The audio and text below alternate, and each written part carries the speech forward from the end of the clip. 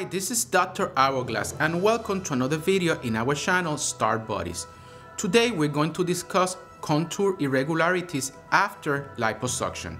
In this channel we discuss everything you need to know to get that star body that you want.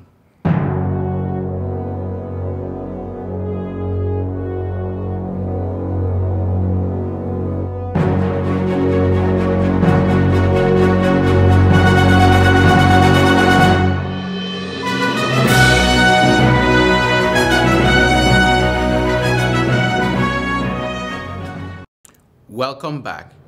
Liposuction is one of the most commonly performed procedures in cosmetic surgery and contour irregularities are not as uncommon as you might think. Liposuction in essence sucks fat in areas that have excessive fat, but depending on the patient and the level of your skin, amount of skin, and elasticity, it will be the reason for you developing some sort of contour irregularities.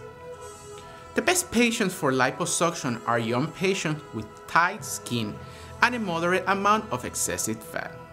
You need to understand that contour irregularities many times are not controlled by the surgeon, although a more talented surgeon can have better results.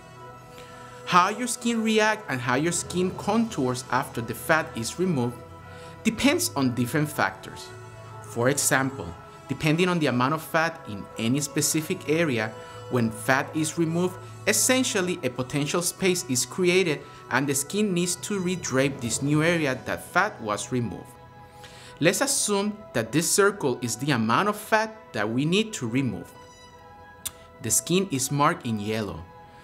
If the circle is very large, that means you're, you're going to have more skin to redrape a given surface area of the body once the fat is removed. The more fat you have, the more skin you're going to have, and the more likely is that you're going to develop a liposuction deformity. In addition, liposuction does very poorly in patients that have lost elasticity. They have stretch mark or they have excessive skin. As a matter of fact, it is contraindicated in this patient with excess skin because liposuction does not suck the skin out, it just sucks the fat. Even in patients that are young and have a relatively good skin tone, liposuction can still have minor deformities that for the most part do not bother the patient. And this, include, and this include eh, small areas of unevenness, etc.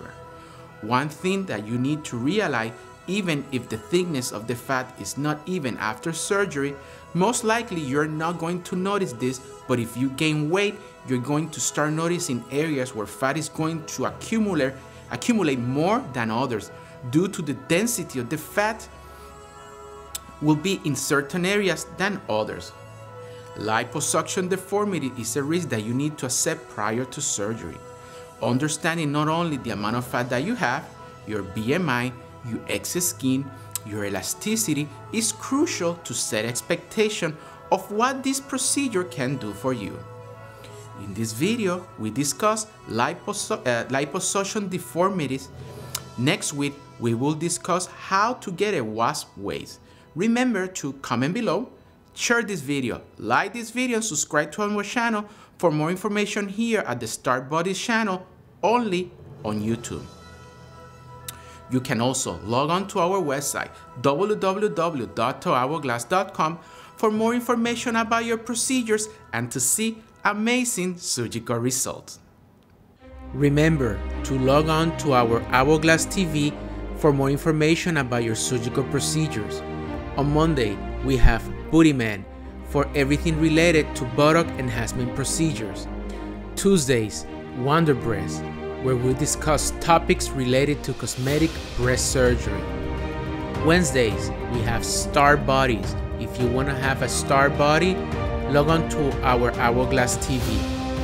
Thursdays, Hourglass Operating Room, where you're gonna see me doing light surgeries with before and after pictures.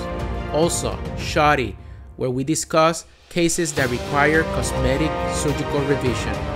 And Friday, Super Hourglass, for topics related to have that hourglass figure that you want. And finally, live broadcast surgeries every day of the week Facebook Live, Periscope, and Snapchat. All this and more in the Hourglass TV.